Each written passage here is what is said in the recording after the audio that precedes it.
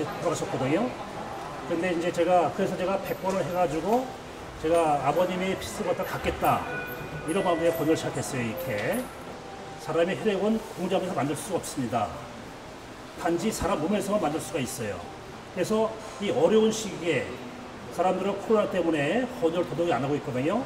근데 우리가 헌혈을 해야지만이 우리가 어려움에 처- 처한 사람들한테 우리가 생명을 살릴 수가 있거든요. 헌혈에 대한 기피 현상이 팽배한 가운데 대한적십자사와 전국 헌혈의 집은 많은 시민들이 헌혈에 함께 동참할 것을 독려했습니다. 상반기 1월부터 6월 사이에 헌혈자분들이 좀 많이 줄어들었거든요.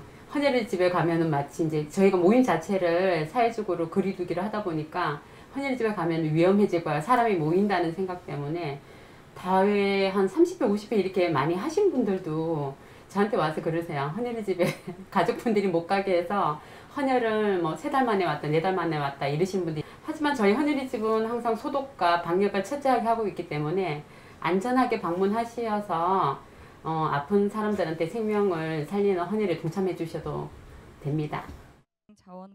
한편 복지TV는 오는 20일부터 31일까지 12일간 대한적십자사와 한국중앙자원봉사센터와 함께 혈액 수급 안정화를 위한 긴급 헌혈 캠페인에 동참해 헌혈 증진을 위한 적극적인 활동에 나설 방침입니다.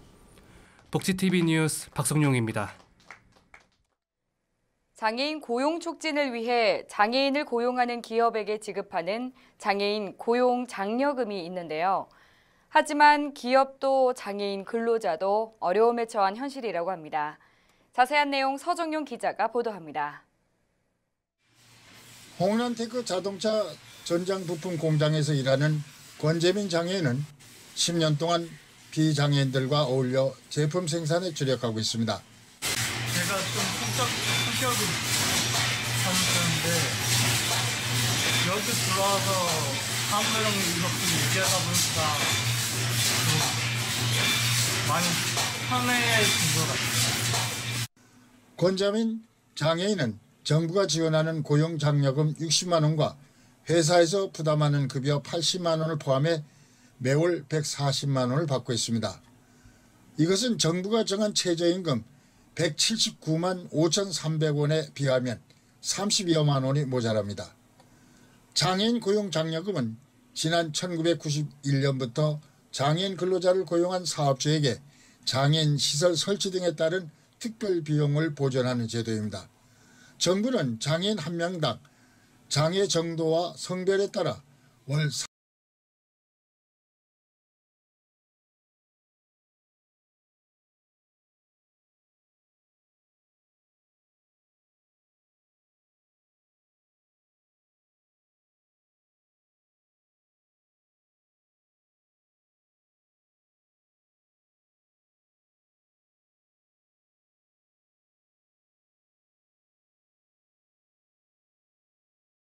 (30만 원에서 80만 원을 기업체에 지원하고 있습니다.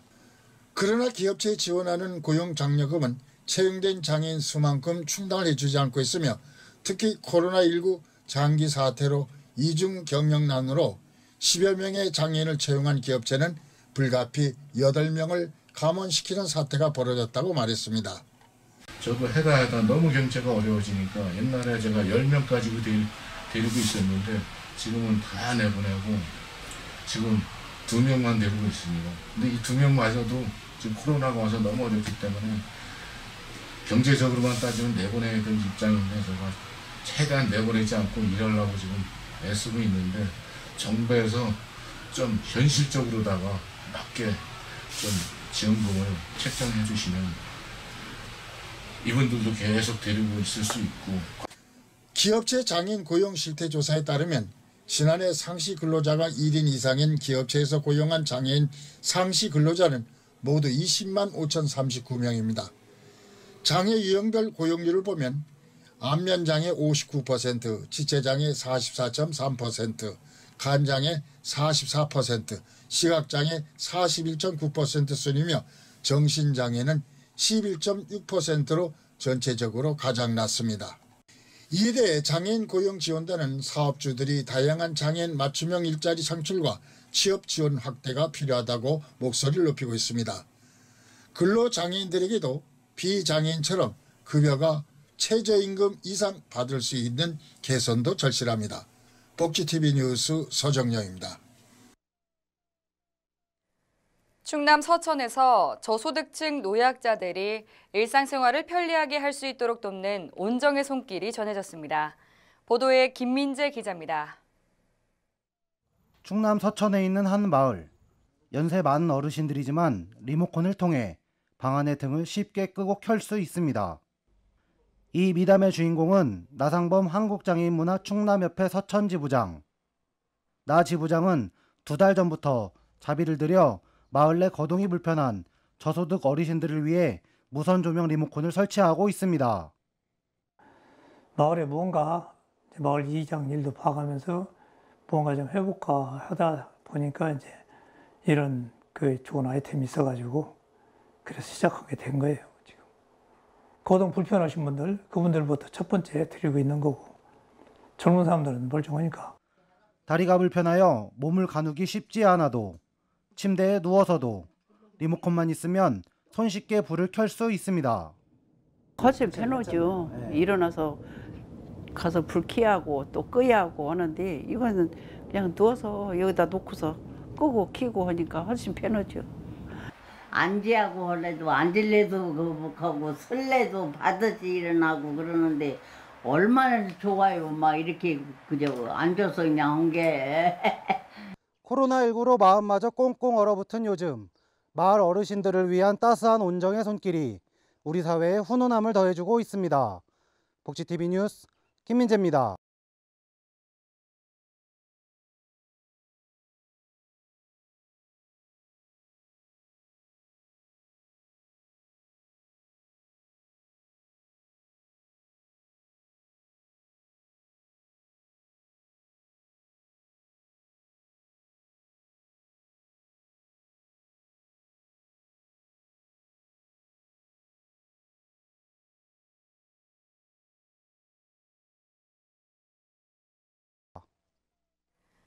최근 트로트 열풍이 불고 있죠.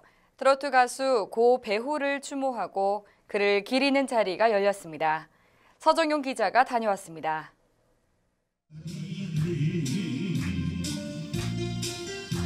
(1967년) 배우가 병상에서 발표한 돌아가는 삼각지 노래를 부르는 배우사랑연합회 회원들입니다. 매달 마지막 토요일인 오후 서울 종로 삼가 노래방에 모여 추모하고 배우의 히트곡을 부르며 영원한 가객을 기억합니다. 이제 배우는 없지만 노래는 남아 팬들이 반세기가 지난 지금도 밤이 늦도록 그를 닮아가고 있습니다. 배우사랑연합회를 처음 창립한 김석환 회장은 20여 년 전 배우를 좋아하는 사람들이 모여 협회를 구성해 배우 히트곡을 부르며 그를 기리고 있다고 전했습니다. 김석환 회장은 배우를 기념하기 위해 지하철 삼각지역에 가수 배우 만남의 조형물 조성 사업비를 지원했습니다. 삼각지 밖에는 그 조형물이 용산구청에서 만들어줘서 지금 그걸 우리가 추모하고 있었고 처음에 그 다음에 용산 지하철역 안에는 지하철 역사 어, 분들하고 합의해서 어, 노래가 나오도록 만들어서 같이 추모들 하고 있는 그 배우 노래비가 있고 그 다음에 배우 산소에 가면 예, 두매산골이라는 노래비를 세워놓고 어, 옛날에는 버스가 몇십 대씩 와서 같이 동참해서 탄신기념일에 그 서거 기념일에 이렇게 같이 행사들을 하고 있었습니다. 김석환 회장은 고향인 정읍 내장산에 배우가 부른 잘릴 거라 내장산아 노래비도 세우고 배우 가요제를 개최하는 데도 협조를 하고 있습니다. 해마다 마포구청과 배우 가요제를 겸한 충효의 실버 노래자랑도 개최하고 있습니다. 1971년 11월 7일 29세로 요절한 가수 배우가 남긴 200여 곡 가운데 애창곡들이 요즘도 팬들의 목소리로 메아리치고 있습니다.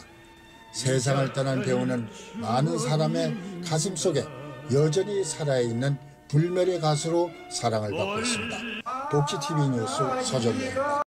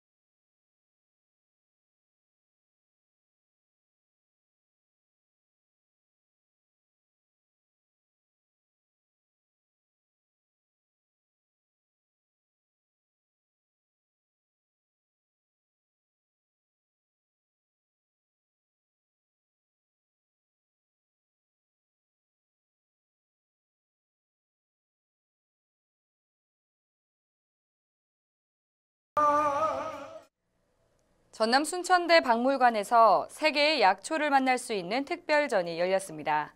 이영춘 기자가 보도합니다. 순천대학교가 세계의 약초 표본과 약초 책자, 사진을 한눈에 감상할 수 있는 세계의 약초를 만나다 특별전을 지난달 30일부터 학내 박물관 2층 기획 전시실에서 전시를 하고 있습니다. 오는 9월 29일까지 열리게 되는 이번 특별전에는 순천대 한약자원개발과 박종철 교수가 15년 동안 아시아와 유럽, 아메리카, 아프리카 등 37개 나라에서 수집한 410여 점의 전시품을 만나볼 수 있습니다. 먼저 세계의 약초와 희귀약재 코너에서는 동의보감에 기록된 귀한 약재와 유향, 몰약과 우리나라와 중국, 일본의 특산 약초인 참당귀, 외당귀 그리고 아시아와 유럽의 약초인 모링가 등을 실물과 사진으로 소개하고 있습니다.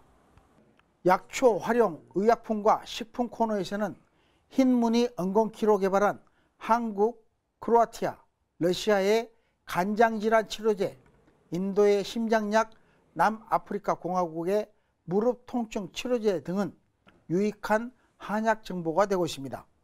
제가 오랫동안 한 15년 동안 그 외국의 한약 답사를 많이 나갔는데 그때마다 어, 그 나라의 그 필요한 중요한 약초 도수나 그 활용할 수 있는 제품들을 손이 수집을 해왔습니다. 한 15년 동안 꾸준히 모아가지고 그 이번에 제가 8월 달에 정년 퇴임 예정으로 되었습니다. 그래서 이번에 총 마무리하는 의미에서 우리 순천 시민과 또 함께하고 또 우리 교직원이나 우리 학생들한테도 좋은 약초 정보를 또 활용하고 알려드린다는 의미에서 좀 정리해서 이번에 순천대 박물관의 기획전으로 이렇게 전시회를 열게 되었습니다.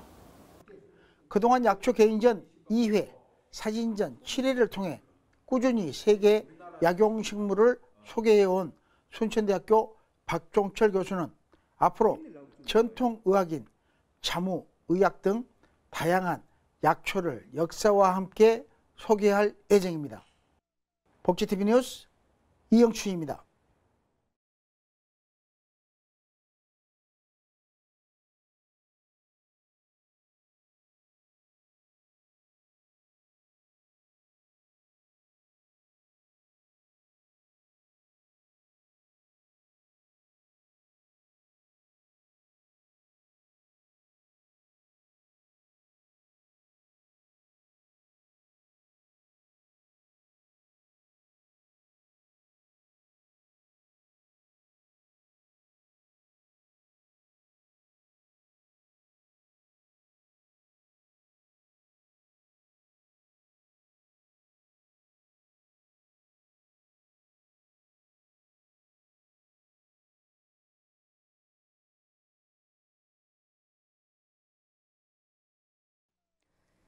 순천에서 그림과 노블의 합성어인 그래픽 노블 특별전이 열렸습니다. 만화와 소설의 중간 형식으로 일반 만화보다 철학적이고 진지한 주제를 다루는 것이 특징인데요. 자세한 소식 이소영 기자가 전합니다. 순천 글로벌 웹툰 캠퍼스에서는 지난 13일부터 그래픽 노블 작가 김금숙 특별전이 열리고 있습니다.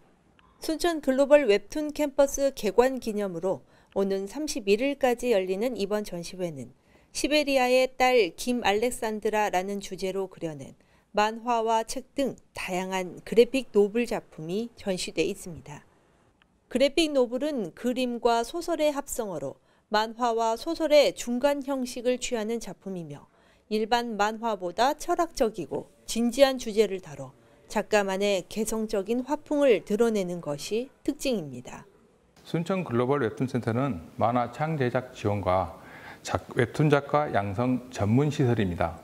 예, 우리 지역의 스토리, 만화 산업 생태계를 이끄는 구심점 역할을 수행하기 위해 설립되었습니다.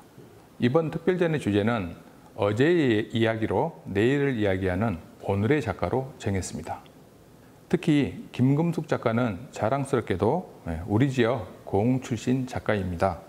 그래서 이번 특별전은 여순 사건 등 우리 지역의 스토리를 김금숙 작가와 함께 글로벌 만화 웹툰 콘텐츠로 발굴하여 전 세계에 알리기 위한 첫 걸음을 떼는 의미로 기획하였습니다.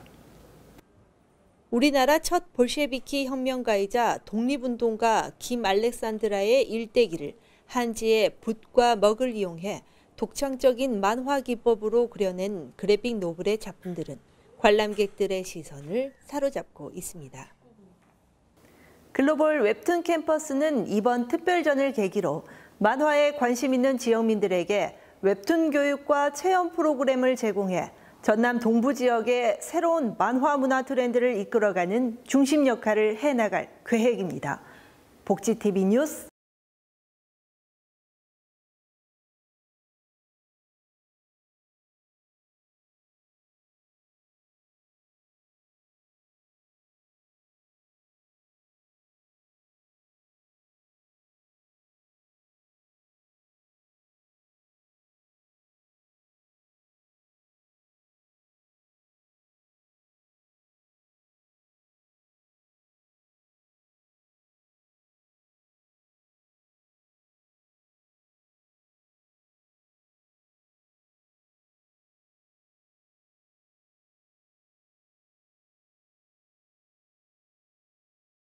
이소영입니다. 모차르트 선율이 한여름밤에 울려 퍼졌는데요.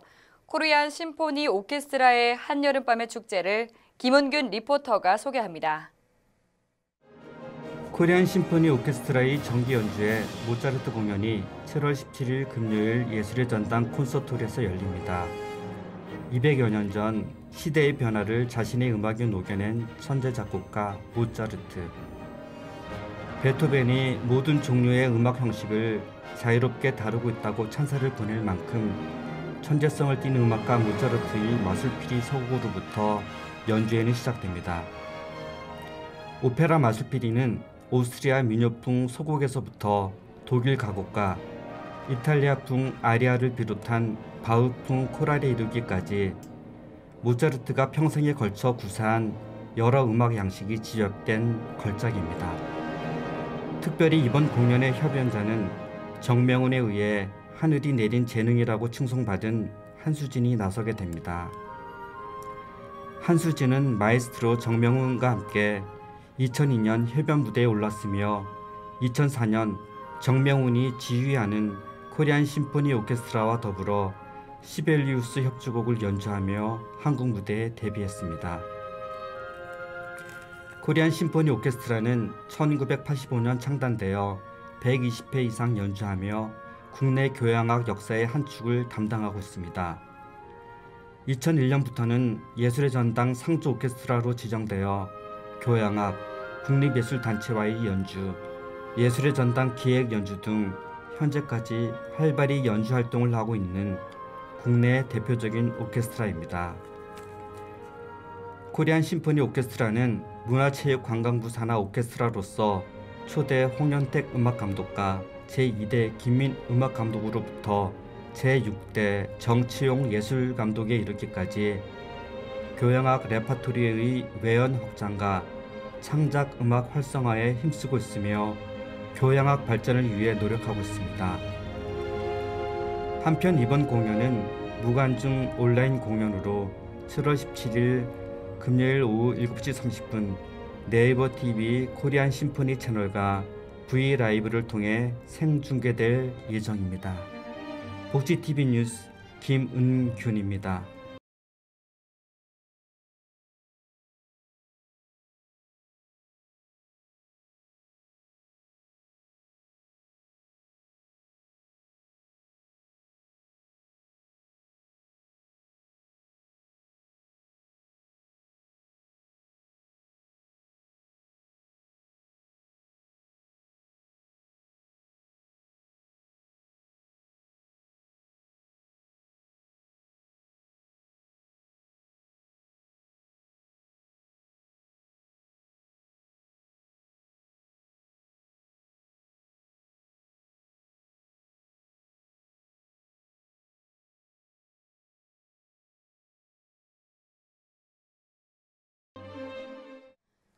공적 마스크 제도가 지난 12일부로 종료된 가운데 이제부터는 약국과 마트, 편의점, 온라인 등에서 보건용 마스크를 자유롭게 구매할 수 있게 됐습니다.